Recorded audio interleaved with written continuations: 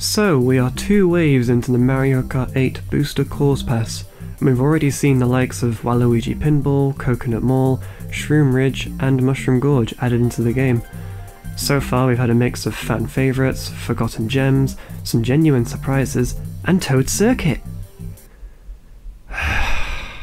Regardless of what you think of the DLC so far, putting thoughts on the general visual qualities aside, you can't deny that it's definitely brought an increase in discussion and attention to the game, and it's certainly nice to be able to have access to new content since, let's face it, the next Mario Kart is probably a long way away, assuming it's still Mario Kart at this point.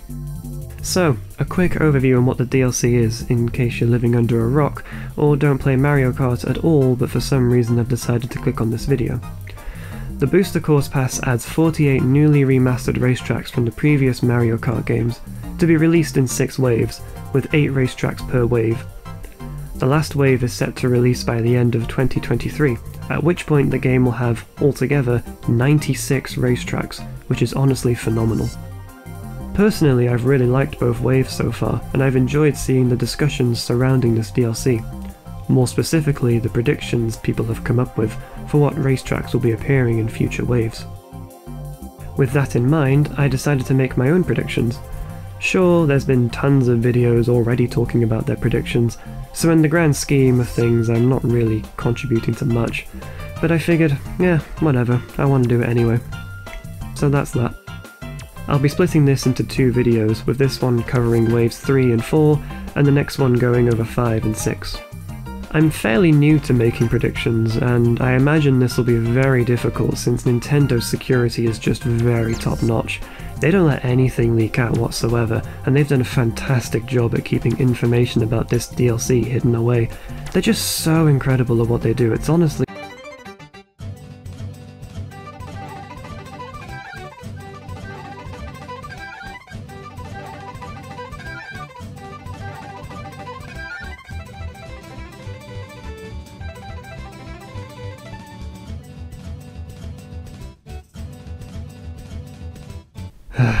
God damn it, Nintendo.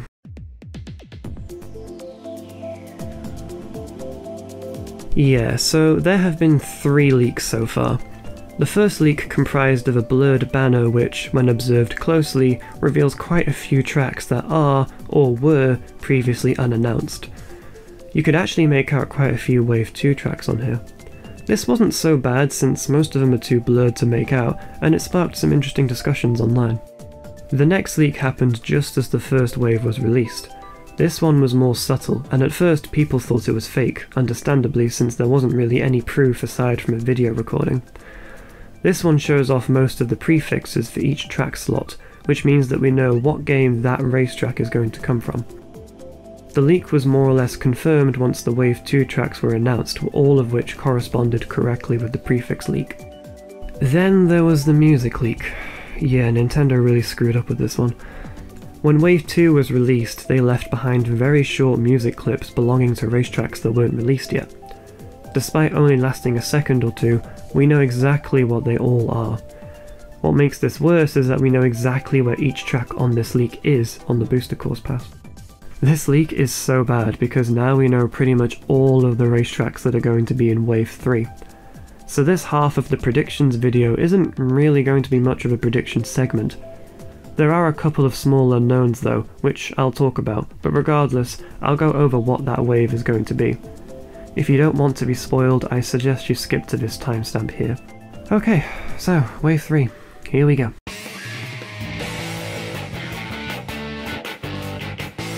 Starting with the Rock Cup, the first course will be London Loop from Mario Kart Tour, Honestly, I was expecting this one to be in Wave 2, but I guess I wasn't that far off. I haven't played this one yet as I'm still pretty new to Tour, but I've heard good things about it, so I'm curious.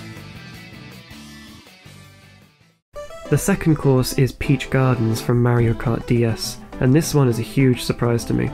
This one would have probably never come across my mind beforehand, similar to how Snowland didn't in Wave 2. They've recently uploaded a teaser to Wave 3 which shows a glimpse of this track and it looks absolutely gorgeous. One of my most hyped tracks at the moment for sure. Next we have a toss-up between Boo Lake and Broken Pier from Mario Kart Super Circuit. The reason why we don't know for sure which one it is is because they both share the same music, so it could be either one. Personally though, I think it's going to be Boo Lake, and the only reason I have for that is because it has Boo in the name, for King Boo. It has the character recognition, and because of that I think it's more likely. But now that I've said that, it's going to be Broken Pier. Concluding the Rock Cup is Alpine Pass, or Rock Rock Mountain for all of you non-British people, from Mario Kart 7. This one's probably the most predictable one, a rock course in a rock cup. I'm quite happy about it though, it's a very attractive course and it should be fun to race through. Moving over to the Moon Cup, for the first track we have Berlin Byways from Mario Kart Tour, another one that I haven't played yet but heard good things about. Seems we're staying in Europe for this wave. All I really know about this track is that the soundtrack is amazing. Looking forward to trying it. Next up we have another toss-up, this time between Waluigi Stadium and Wario Coliseum from Mario Kart Double Dash. It's going to be Waluigi Stadium. I'm sorry to those who want Coliseum, I know it's the more memorable track and it hasn't been remastered yet, so it would have been nice, but it's going to be Waluigi Stadium simply because it was spotted in the banner leak. Who knows though, maybe they'll pull a surprise and do Coliseum later on. Personally, I'm very happy with Stadium, and again, it's not a track I would have predicted if it wasn't leaked. The third track is Merry Mountain from Mario Kart Tour. This one isn't much of a surprise when you consider that Wave 3 will likely release around December. It's a Christmas themed track, and it's one of the best ones in Tour, if what I heard from other people is true. Should be fun to play. Alongside Peach Gardens, this track was also showcased in the newly released teaser trailer, and it looks like they're bringing in half pipes to Mario Kart 8, which is great news. It's also got anti-grav, very nice. Last, but certainly not least, is Rainbow Road from Mario Kart 7. I had this one in my predictions before the music leak, but I am so happy that this one's going to be in Mario Kart 8. In terms of visuals, it's the best Rainbow Road in my opinion, and the fact that it closes off the halfway point of the DLC makes it a poetic conclusion to Wave 3. Definitely one of the tracks I'm looking forward to the most. So that is Wave 3. I suppose it's worth quickly going over the question of will Nintendo change any of this now that it's been fully leaked? No, they're not going to change it. I imagine the whole DLC has been laid out by now, and they honestly have no need to change anything. It's not like this is going to deter people from buying the DLC. If anything, it'll generate more hype. Don't expect them to switch courses around. The teaser hammers this down even further. I don't think I'd really want them to change it either, to be honest. I really like the track selection, and as long as I don't butcher any of the racetracks, it could very well be the best one yet. What do you think though? I'd be interested to hear your thoughts, but for now, let's move on to Wave 4.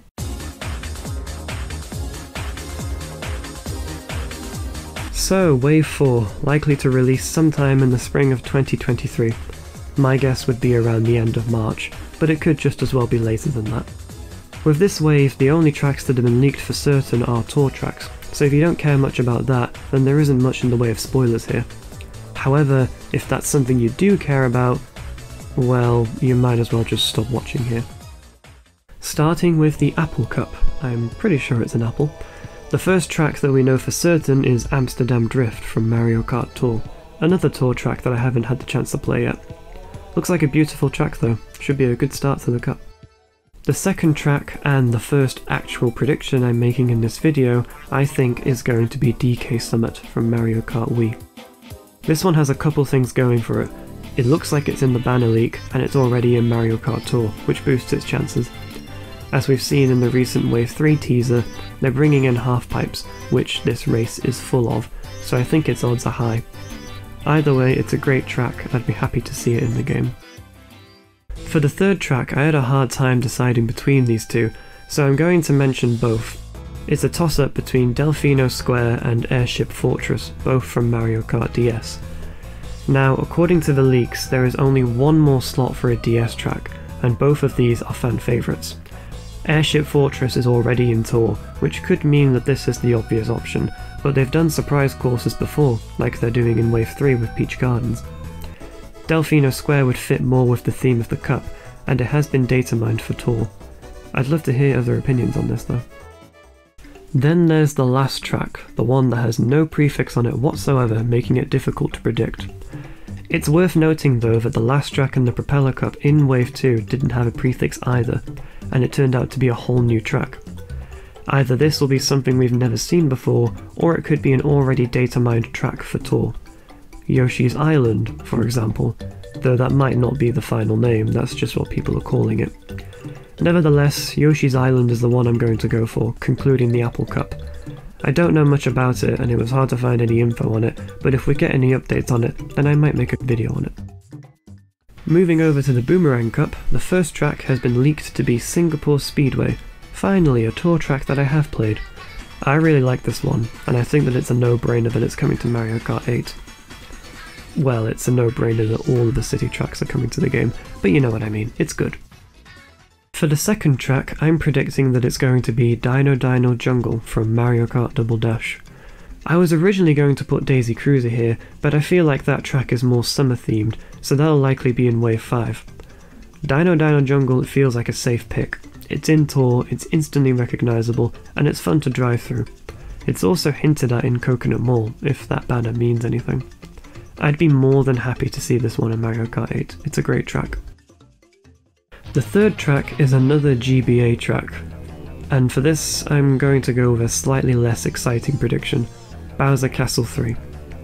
I pick Bowser Castle because there aren't many Bowser Castles in Mario Kart 8 to begin with. Well, there's only one. It would make sense for Nintendo to take advantage of the DLC and add more, and Bowser Castle 3 is already in tour, and it came out recently, so I'd say it's likely. I wouldn't mind this, I do like it, but it would definitely be the weak link in the wave overall. Last but not least, Los Angeles Laps from Mario Kart Tour. It's been leaked, so it's more or less confirmed. As somebody who hates Los Angeles with a burning passion, I'm not sure how to feel about this one, but as far as Tour is concerned, they've managed to make it look good, so I'll be open to it. Regardless, this concludes Wave 4 of the Booster Course Pass.